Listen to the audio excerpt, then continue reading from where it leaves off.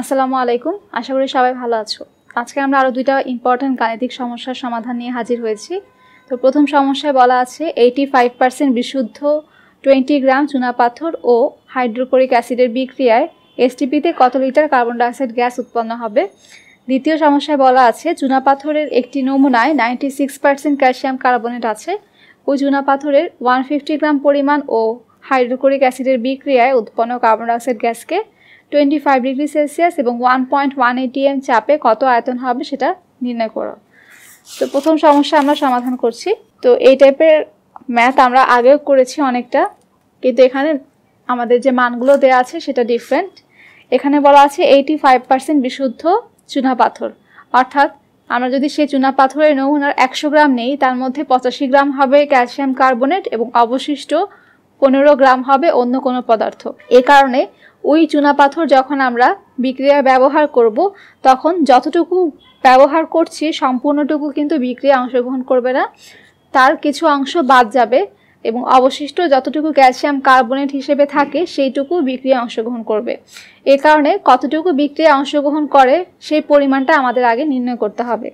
তো এখান থেকে আমরা লিখব যে একশো গ্রাম চুনা পাথরে ক্যালসিয়াম কার্বনেট থাকে, এইটি ফাইভ গ্রাম। অতএব টোয়েন্টি গ্রাম চুনাপাথরে ক্যালসিয়াম কার্বনেট থাকে eighty five into twenty divided by one hundred gram. তাহলে সেভেন্টিন গ্রাম। তা সেভেন্টিন গ্রাম আসলে আমাদের বিক্রিয়া অংশগ্রহণ করবে এবং এই সেভেন্টিন গ্রাম থেকে যেই পরিমাণ কার্বন ডাইঅক্সাইডটা উৎপন্ন হবে সেটাই আমাদেরকে এখন নির্ণয় করতে হবে। তার প্রথমে বিক্রিয়াটা লিখব। ক্যালসিয়াম কার্বনেটের সাথে হাইড্রোক্লোরিক অ্যাসিডের বিক্রিয়া।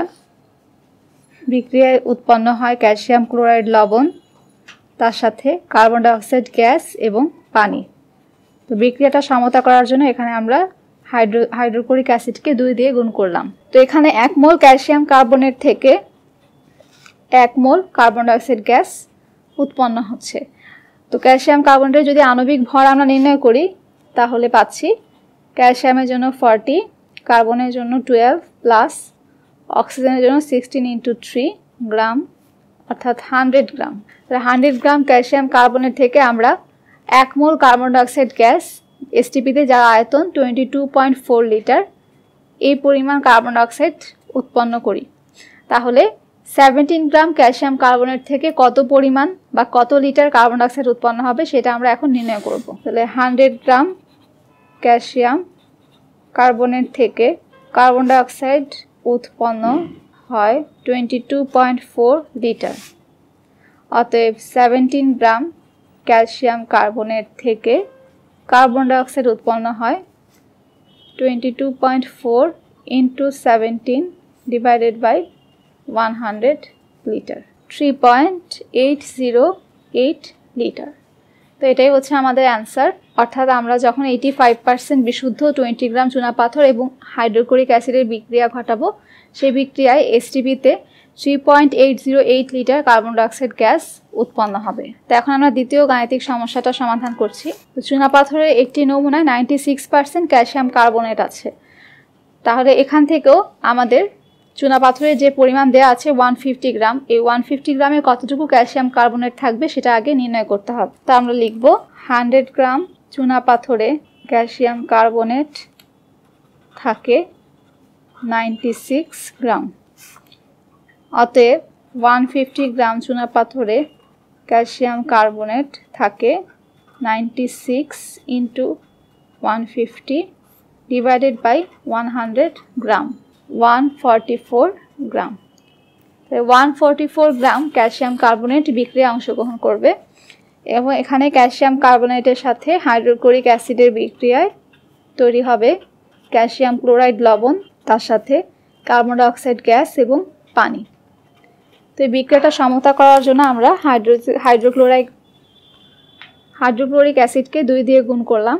এখন এখানে এক মোল ক্যালসিয়াম কার্বনেট থেকে এক মোল কার্বন ডাইঅক্সাইড গ্যাস পাওয়া যায়। এবং এক মোল ক্যালসিয়াম কার্বনেটের আণবিক ভর হচ্ছে ওয়ান হান্ড্রেড গ্রাম। তাহলে one hundred gram calcium carbonate থেকে আমরা কার্বন ডাইঅক্সাইড পাচ্ছি এসটিপিতে যা আয়তন twenty two point four litre. কারণ আমরা জানি এসটিপিতে সকল গ্যাসের মোলার আয়তন বাইশ দশমিক চার লিটার। যেহেতু এই এই বিক্রিয়ায় এক মোল কার্বন ডাইঅক্সাইড পাওয়া যাচ্ছে, এর কারণে এসটিপিতে এই গ্যাসের আয়তন হবে twenty two point four litre. তাহলে আমরা হান্ড্রেড গ্রাম ক্যালসিয়াম কার্বনের থেকে যদি twenty two point four litre পাই কার্বন ডাইঅক্সাইড তাহলে one forty four gram calcium carbonate থেকে কতটুকু পাবো? হান্ড্রেড গ্রাম ক্যালসিয়াম কার্বনেট থেকে কার্বন ডাইঅক্সাইড পাওয়া যায় twenty two point four litre অতএব আমাদের পরিমাণ হচ্ছে one forty four one forty four gram calcium carbonate থেকে কার্বন ডাইঅক্সাইড পাওয়া যায় twenty two point four into one forty four divided by one hundred litre thirty two point two six litre. এখন এই পরিমাণটা যে আমরা বের করলাম, সেটা কিন্তু এসটিপিতে অর্থাৎ জিরো ডিগ্রি সেলসিয়াস টেম্পারেচার এবং ওয়ান এটিএম চাপে। কিন্তু আমাদেরকে বলেছে twenty five degree Celsius temperature এবং ওয়ান পয়েন্ট ওয়ান এটিএম চাপে আয়তনটা নির্ণয় করতে। এ কারণে এই আয়তনটাকে আমরা এই টেম্পারেচার এবং প্রেশারের আয়তনে কনভার্ট করব। এ কারণে আগে আমরা মানগুলো লিখছি টি ওয়ান এসটিপিতে টি ওয়ান হচ্ছে two seventy three kelvin P one হচ্ছে ওয়ান এটিএম এবং ভি ওয়ান হচ্ছে thirty two point two six litre এবং আমাদের টেম্পারেচার দেওয়া আছে টোয়েন্টি ফাইভ ডিগ্রি সেলসিয়াস যেটা, সেটার সাথে আমরা কেলভিন এককে কনভার্ট করার জন্য টু সেভেন্টি থ্রি প্লাস করলাম। তাহলে two ninety eight kelvin P two হচ্ছে ওয়ান পয়েন্ট ওয়ান এটিএম তাহলে ভি টু ইকুয়াল টু কত?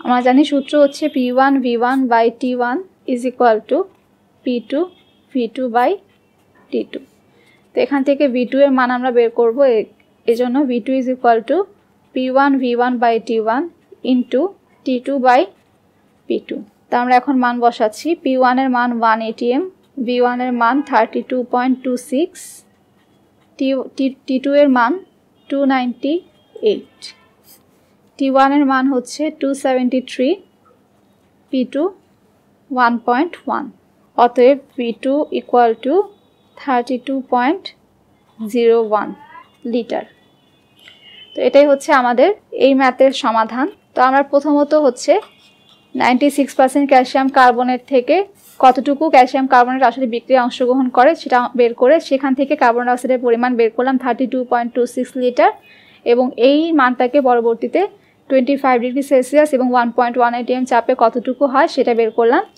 অর্থাৎ আমাদের অ্যান্সার হচ্ছে thirty two point zero one litre তো আশা করি সবাই আজকে সলিউশন দুটি বুঝতে পেরেছ।